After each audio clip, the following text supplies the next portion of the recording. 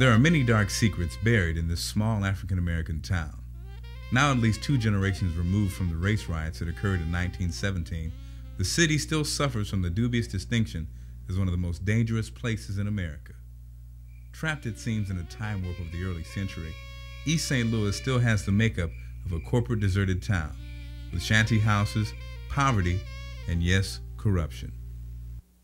East St. Louis was known for lawlessness and corruption practically from the day it incorporated. In fact, the very first chief executive of what is now East St. Louis was removed from office because he just simply left town after two months. Kind of unusual. By the 1880s, East St. Louis was a lawless place because there were islands along the Mississippi where jurisdictions were questioned and gambling was, was open and up front. Liquor consumption was, was very high. The city was one of the fastest growing metropolises in America. It boasted an abundance of railroads, factories, and packing houses, but it was most famous for its gunfights and after hour saloons and brothels. They at one time had two police forces in East St. Louis. They had a state police force, and then they had a local one. And the two police forces got in a gun battle one day. Shooters started shooting at each other. Uh, give you some idea about the schizophrenic nature of a, of a city like this, okay? African Americans from the South who came to East St. Louis during the turn of the century were financially strapped families looking to find a break in the system. After hearing stories of how other blacks prospered outside the South, unassuming blacks naively fled the South thinking salvation was on the horizon. By the thousands, blacks were lured to East St. Louis, Illinois, by crooked politicians and industrial reps to work in factories and packing houses because they were willing to work for far lesser wages than their white counterparts. I, I remember very vividly um, sitting at the knee of my, my grandfather, listening to my father talk about how when they left, both being uh, children of the South, coming to East St. Louis, not because they heard that East St. Louis was uh, the land of milk and honey for black people, but because that there were jobs to be had in East St. Louis, that a person could come up from the South and have a job within 24 hours here in East St. Louis. And that's the way it was with all of the packing houses and, and, and, and, and, and, uh, and companies of that ilk. A black man could come up, acquire a job within 24 hours, save his monies, and then later send for his family and bring them up from Mississippi, from Georgia, from Tennessee, and from all of these other southern places in which there was nothing for them to do other than to be sharecroppers or, or glorified slaves, as was my father and my, my grandfather. Blacks in the South were used to racism, and many believed it could not be worse than their situation in the South. At the time of crisis in the Southern economy, Dixie senators believed the place for blacks was indeed the South. Uh, somebody said that in the South, they always, the difference in being from the South and being from the North, maybe Andrew Young, I'm not sure who said it, he said, in the South they say, get as close as you want, just don't get too big. In the North they say, get as big as you want, just don't get too close. See, black people used to be a, a caring community for themselves. One would leave Mississippi or Georgia, Alabama, and come to St. Louis, his family, and they'd get a, a place to stay. Then they send for the brother you know, and he'd come and stay with them until he found a job. Then he'd get another place. They sent for another brother or aunt or somebody else, family member, and then they kind of spread out. And when, as they did better, they would send for other people from the South too. So it was it was a hard working community, but it was a working community. The stockyards in East St. Louis provided jobs for African Americans. There were certain jobs that were allocated just for, for black people, like in the service industry, working in hotels, bellhops, making beds for people street sweepers and street cleaners. But those were jobs. They were much better jobs than, than sharecropping on somebody's farm. And they worked hard sharecropping, put all of their monies into the crop. And the people, the farmers, the white farmers would come and take the crop and tell them that belonged to them. So they could have nothing down there at that time in certain areas there in the South. And so that's why those people had to come up here. The law at that time was that you don't question white folks. In fact, they would tell them, you trying to question this good white man, boy? You say, we let you and your folks stay on this, on this, on this plantation for Your granddaddy stayed here and your great granddaddy stayed here, and you're going to question me? Now you going back out there and, uh, and, and work that field. This was the, the, the attitude. They didn't even want him to go to school. My father and my uncle uh, had to hide in the fields by the railroad tracks until the white folks went to town before they could dash off to the schoolhouse. And if those white folks came back and discovered that they'd gone to school, they would in fact go to that schoolhouse, pull them back, put them back in the fields. This is the type of existence that blacks experienced in the South.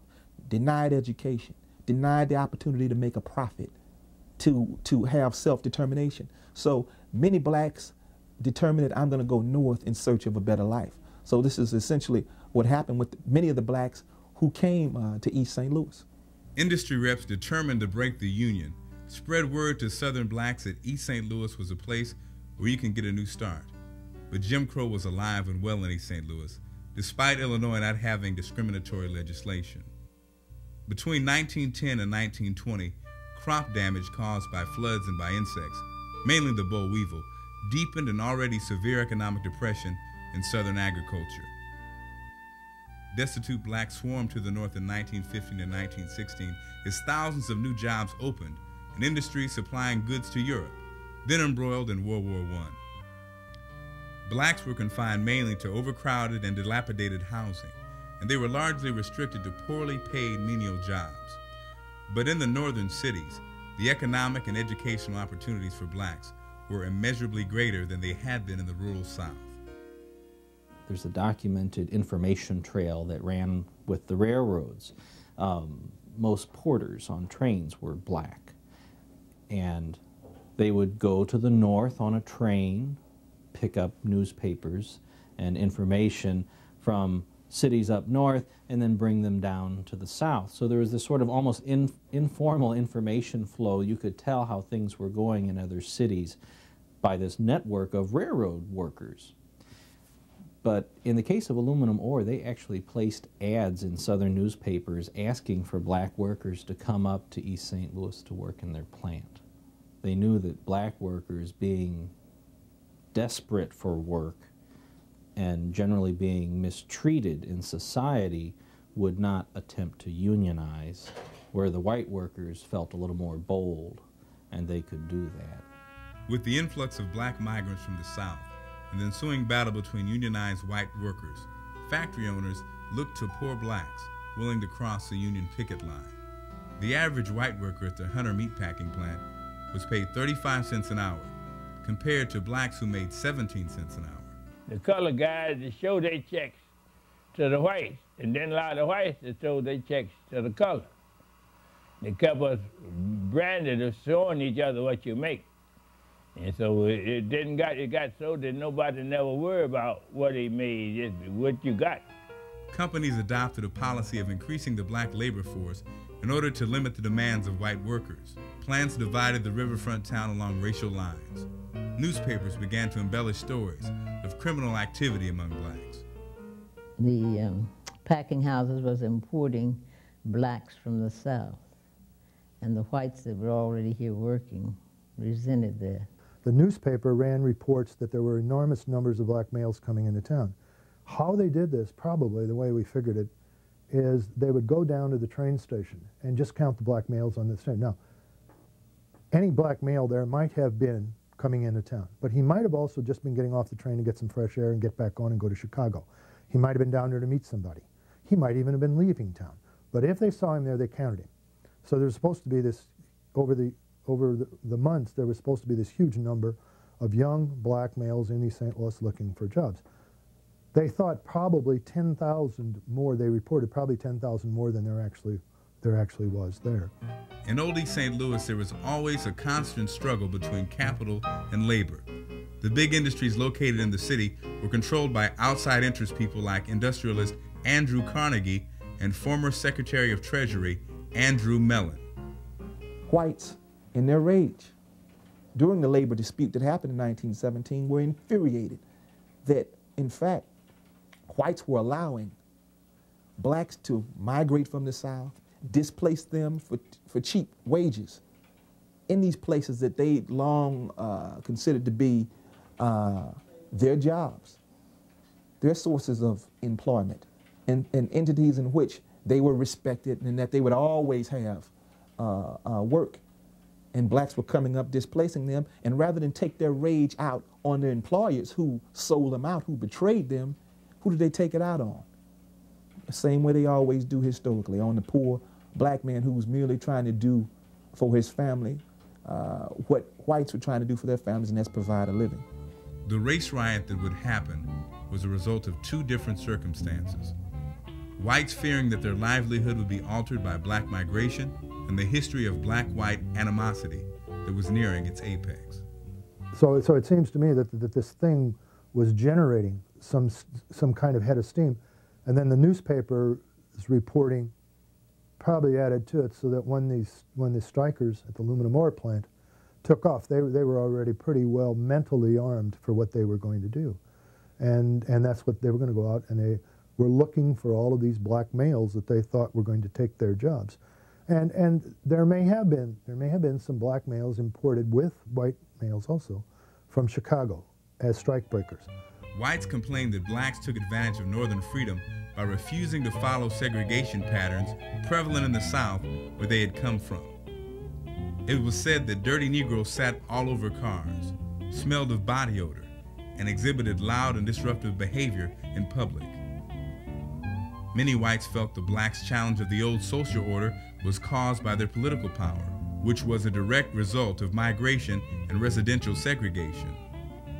I would have to speculate that life was better for some of the blacks who came, especially those who came from rural backgrounds, only because you were in an urban area and you had services available that would not have been available in the same capacity, if at all, in the rural South.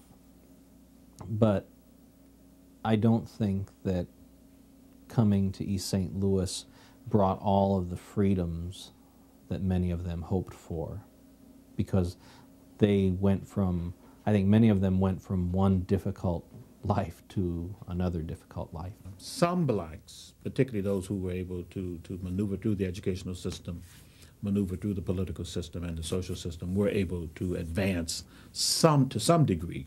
But a large number of blacks remained, of course, trapped in underemployment and unemployment in the cities. Before the riots, whites charged that because of the ballot, Negroes had transformed from a subordinate to an insubordinate race. Dixie politicians suggested that if the North had denied political participation to blacks, the migration would never have happened. Racism was prevalent in the South, as it is now in some spots. Civil War still being fought. Black people were trying to survive. They had to live. They had they were sharecropping on some of the lands that they the white folks didn't even own. They were just trying to get away from that for a better way of life for themselves and for their families and for future generations. They they had to leave. They wanted to leave. They wanted freedom. They wanted to be treated with dignity. They wanted to be treated as people. They wanted a chance for their children to have a better life than they had.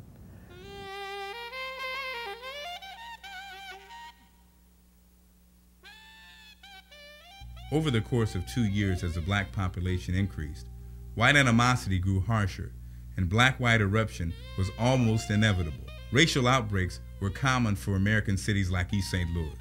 Being strangers in an unholy land caused many a black person to flee St. Louis to an even more volatile place, Chicago, Illinois. Well, a lot of people from, from the South, they, from Arkansas, chose St. Louis because it was a, a short trip mostly you find people in Chicago, African Americans in Chicago who migrated from the South, came from Mississippi and Alabama, and some from Georgia. Uh, Georgia Negroes oftentimes went up the East Coast, you know, to the Carolinas and up to New York City.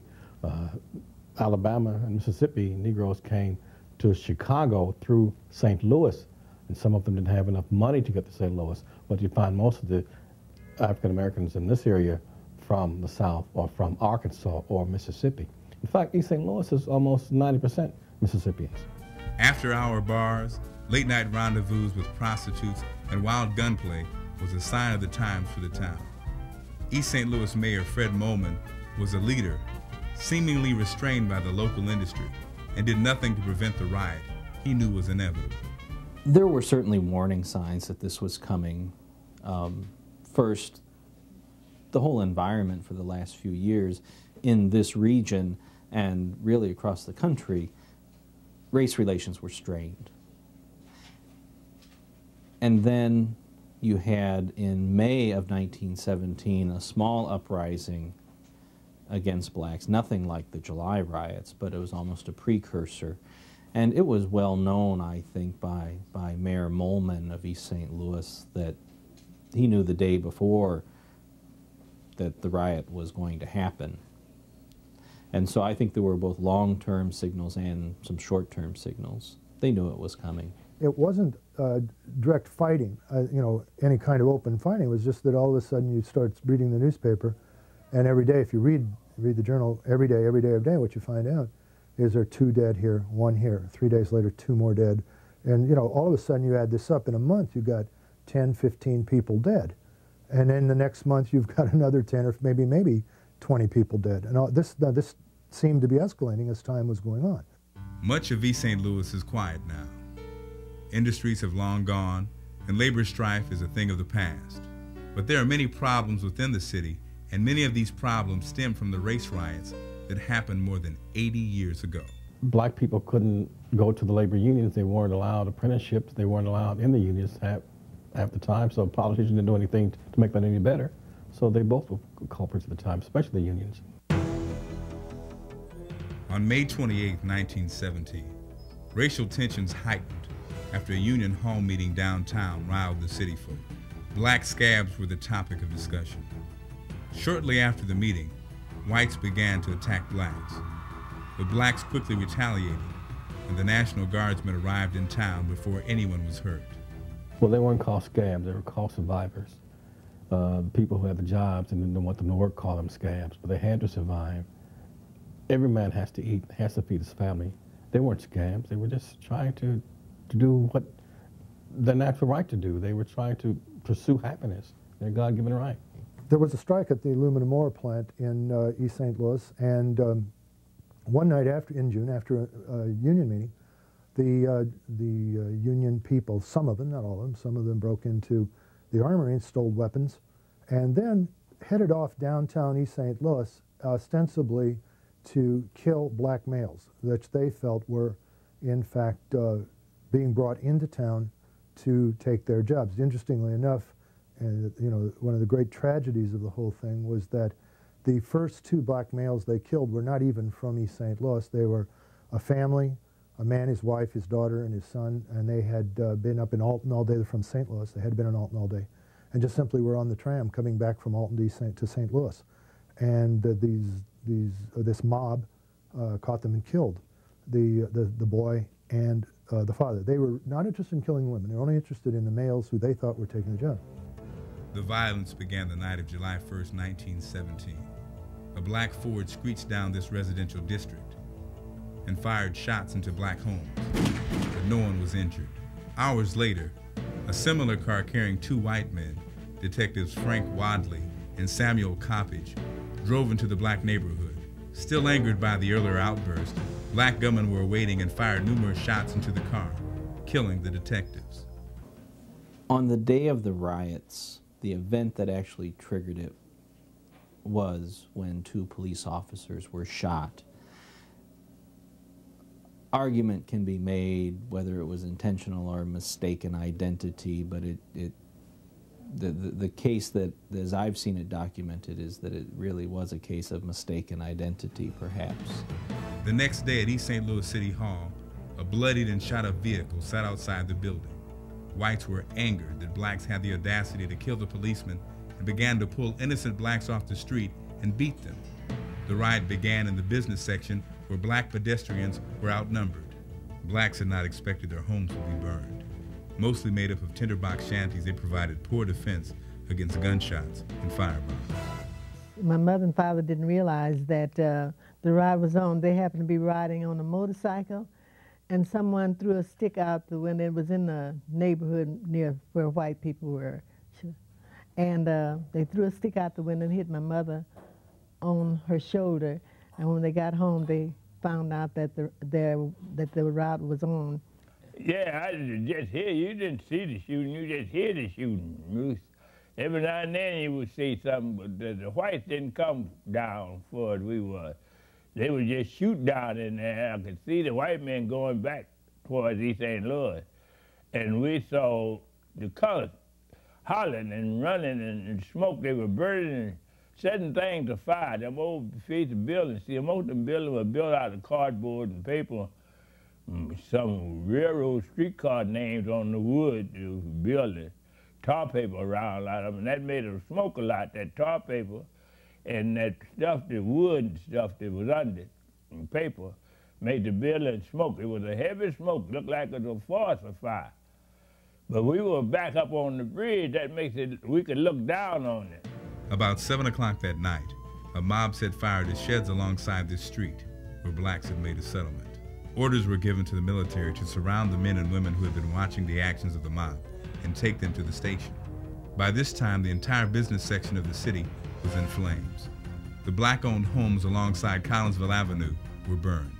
Firemen who attempted to fight the flames of the burning homes were warned to stop by the white mobs. Many blacks trapped in their homes preferred burning to death than facing the anger and bullets of the mob and remained in their fire-swept homes. White observers described the blacks as being scared to death and maintaining an absolutely passive attitude, hoping only for an opportunity to flee across the Mississippi to Missouri people coming into town praying and scared and running. There was a creek there, it was an old creek, and they were throwing a lot of them over in the creek there called uh, Cokie Creek. And uh, they would run them in there. I don't know where they threw them in there. They run them in there, but we didn't run because we was over, so call ourselves over across the railroad track. But you could stand up and look, you know, out and see different things across the track. Then uh, I heard a lot. People come in telling them what was happening as they come through. They, they see different ones cut up, shot up, and beat up. Yeah. And they would tell us, and I would sit there and listen to them telling it. And they would have having prayer meetings at the church, praying for the hopes that they don't come down there to where we was at. The carnage would go on uncontested for days. This neighborhood, referred to as the South End, was hit the hardest in the riots. Many blacks who lived in this part of town offered the most resistance to the white mobs. True Light Baptist Church stood in defiance against the riots. Though in a different location, it still stands today. Beyond the riot zone, black men in only a few instances organized small mobs which counterattacked sporadically. But they got guns and things, and like that to, to fight back, see. And, and they was mowing them down like mowing down grass. But uh, the morticians that have these wagons, these very dead folks, they was hauling guns. and the Negroes over in St. Louis, and white folks as well, they loading those things down, uh, the, the wagon down from the bring over here for the Negroes that's fighting back. One thing about a Negro enslaved, if you give him the tools, he'll, mop, he'll mop up more white folks than you could get dragged from anywhere you just get joy out of doing that. Thomas O'Malley's account. It seemed as if the black people were all trying to flee or were waiting to be slaughtered, but the grassroots blacks had organized and a mobilized force through Undertaker Green's funeral home in East St. Louis.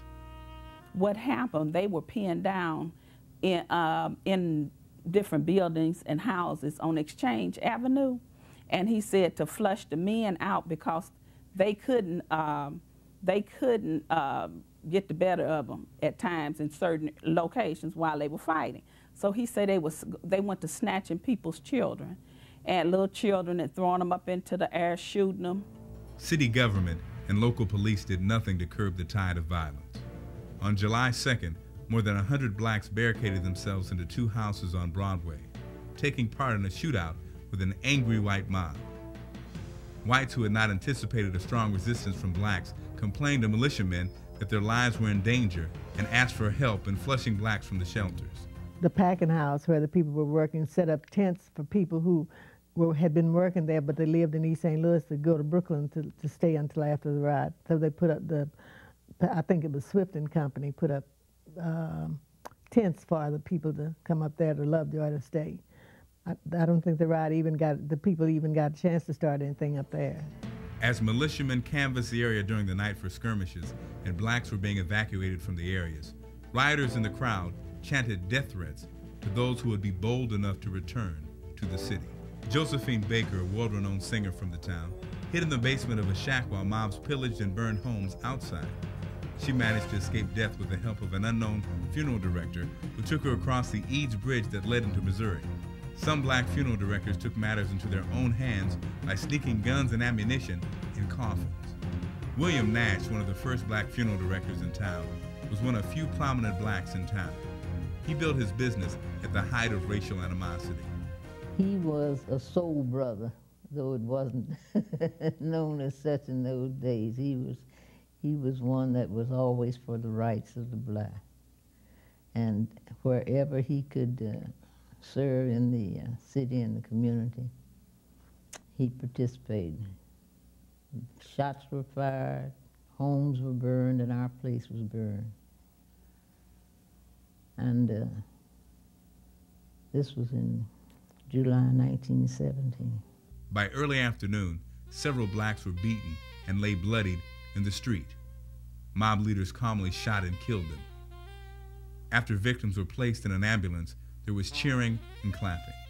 One black man was dragged to a pole by a rope tied around his neck as the crowd screamed to hang him. But the man's life was spared for the moment when National Guardsmen saved him from the crowd. The man later died from his injuries during the attempted hanging. Here, he lost everything, just about, in the ride. And just like starting business anew. And you can't be too happy with that. But he was determined to have his business and make a go of it. He gave his life to till he died in 56. They were shot in the back, shot in the face, butchered, mutilated, thrown in the Mississippi River. I'm talking about innocent black men, women, uh, babies, and children. Uh, so we, when we refer to it as a riot, it is, it is off the mark in terms of what really happened.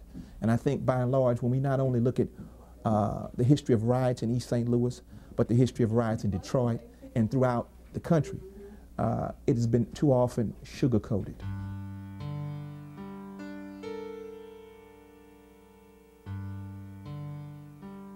Many of the dead are buried here in Booker T. Washington Cemetery, among the nameless and faceless crowd, while other remains lay at the bottom of Cahokia Creek near the Mississippi River. Shortly after the riots, several horribly mutilated floaters were found in the creek. While whole bodies had surfaced, many felt that burned bodies would never come to the surface. The official count nine whites murdered, 39 Negroes dead, hundreds injured. But that's obviously false. Uh, they were fishing bodies out of the Cahokia River for weeks. Uh, there's no telling how many people fled wounded, hurt into St. Louis, went across, I think, the Eads Bridge probably, or, or out to places like Lebanon, Illinois, where there were, where there were tram tracks and they could get on and get out of the city. May have been, may have been injured. The estimates run that there may be as many as 2,000 people killed. It looked like that creek was just running blood. It was just that bloody. And for them to say 45 blacks were killed, it was that's an understatement. It was much more than that. The number was greater than that. I don't think we'll ever know the truth of how many people were killed or injured. The fact that they that the official statistics reported under 50 dead seems almost ludicrous considering the amount of the number of people involved and the amount of damage that resulted. I'm quite sure the death toll must have been in the hundreds because bodies weren't recovered and and and there was a fear of going to hospitals if you were injured and it was just a really really messy messy time. The congressional committee investigating the riots found inconsistencies with the East St. Louis coroner's death records. Much to the committee's astonishment, black corpses were gathered much like the remains of hogs. In order to save the county money, post-mortem examinations were only conducted on a few bodies. Many ended up in Potter's Field. The county's coroner also declared that a one-year-old boy and a two-year-old girl died after being shot in the head. Another child was found in the ashes of a burned-out home where the little boy was found hiding underneath his bed. Many political leaders were appalled at the massacre in East St. Louis. Former President Teddy Roosevelt even voiced his outrage at the episode in a speech praising the labor movement. Well, you to listen to remember who Teddy Roosevelt was. Teddy Roosevelt was the man that uh, led the charge up San Juan Hill, right? But he also had black soldiers in front of him at the charge of San Juan Hill. Actually, history will tell you that the African Americans actually won the Battle of San Juan Hill, and Teddy Roosevelt praised them at the time. But when he got back to Washington, D.C., the racist faction in Washington and the rest of the country made Teddy Roosevelt denounce African American soldiers and said they were cowards and so forth. No, he did nothing uh, positive in this country, to me whatsoever, do I think. But it was President Woodrow Wilson's refusal to get involved in the riots that drew the ire of blacks, namely crisis editor and NAACP co founder W.E.B. Du Bois. Du Bois wrote that in conflict over bread and meat, Negroes were killed because they were black and strikebreakers. The Negroes fought. They grappled with mobs like beasts at bay. They drove them back from their homes and piled the white dead on the street. But the cunning mob caught the black men between the factories and their homes, where they were armed only with their dinner pails. You can't get more racist than a Woodrow Wilson. You can't get more of a segregationist as a Woodrow Wilson. You can't get more of a hated person or hatred person with hate in their heart than a Woodrow Wilson. He was the bigot of his time. He didn't try to hide his hatred of African Americans or any person of color. He was the person that did, I think, set back African Americans more than any other person except Abraham Lincoln, who was supposed to, be to, to free the black folks, but he did more harm to black folks than anybody else in history. Here's two of the most powerful men at the time in the Senate and the White House, and they can't stop it because once these things get going, I'm reminded of the, of the and I'm talking in very general historical terms here, but I'm reminded of the, uh, uh, of the, the war for independence. Uh, the people leading the revolt against England did not want to separate from England. Franklin and, and those people did not, did not want a separate nation. All they wanted was better representation. But once that thing got going, uh, once it spread, the, the fever spread uh, to the populace, uh, they couldn't stop it. And in fact, it led Franklin to say we had all better hang together. No, we're going to hang separately because uh, they just couldn't stop it. They didn't want it, but they couldn't stop it, so they had to go through it.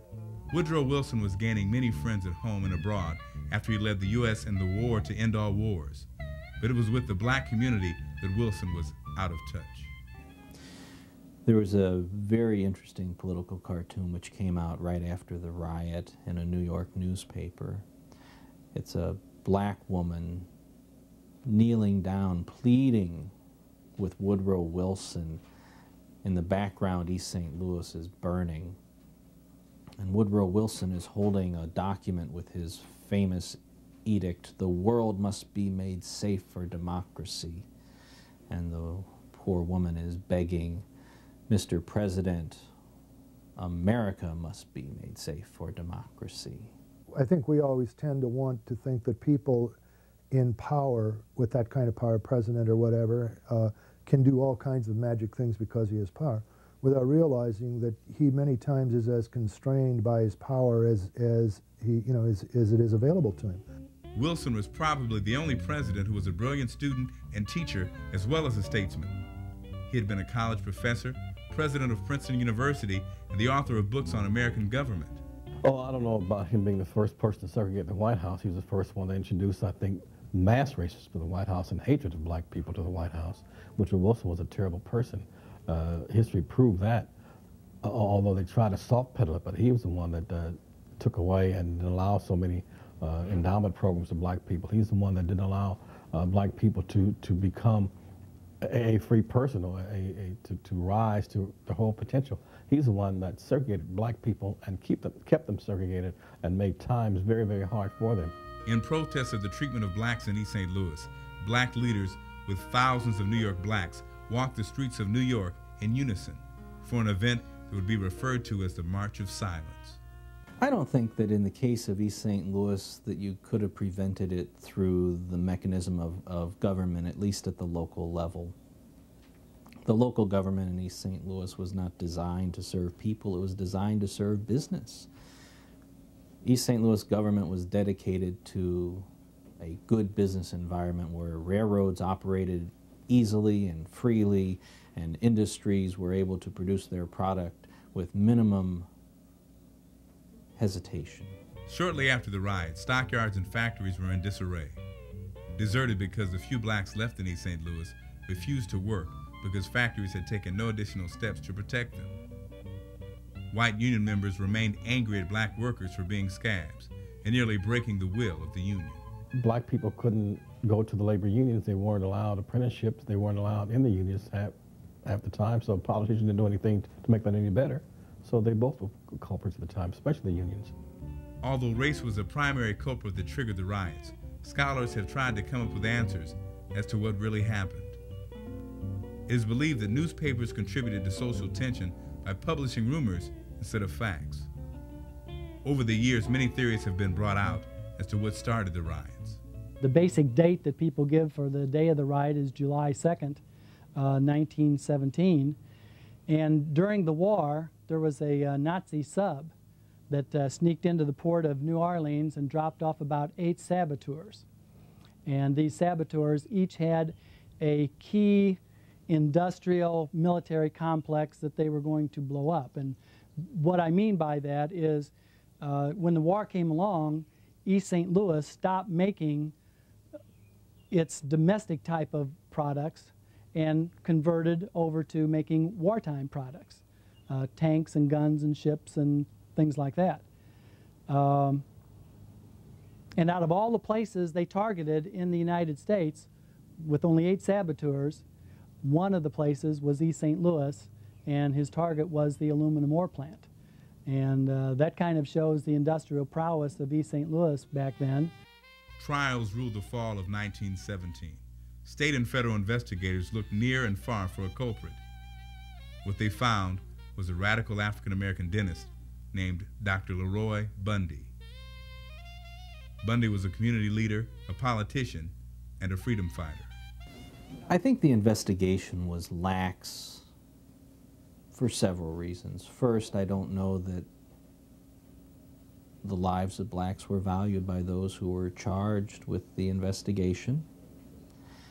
I think that it was to the advantage of elected and business leaders to make the event as small and insignificant as possible.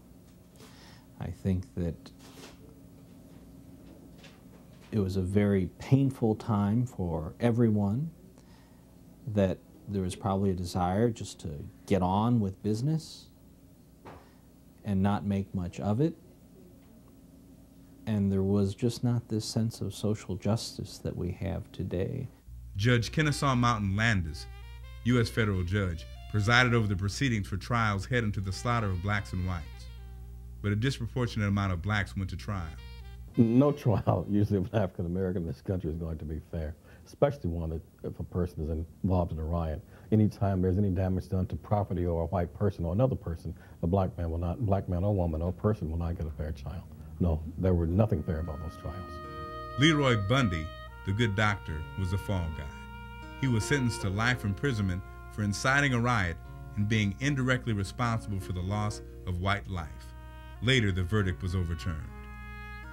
You had a lot of people, but I, I feel that they operated in small clusters, that you had a Lithuanian community that may not have, have worked well with the German community, or you had a black community which may not have worked well with some of the white community, and you had some of these these small little circles of people who practiced and kept their culture from the old country or from wherever they came. And it didn't necessarily lend well to a melting pot. More than 70 years later, after the racial incident, the River City, ironically an all black town today, still struggles.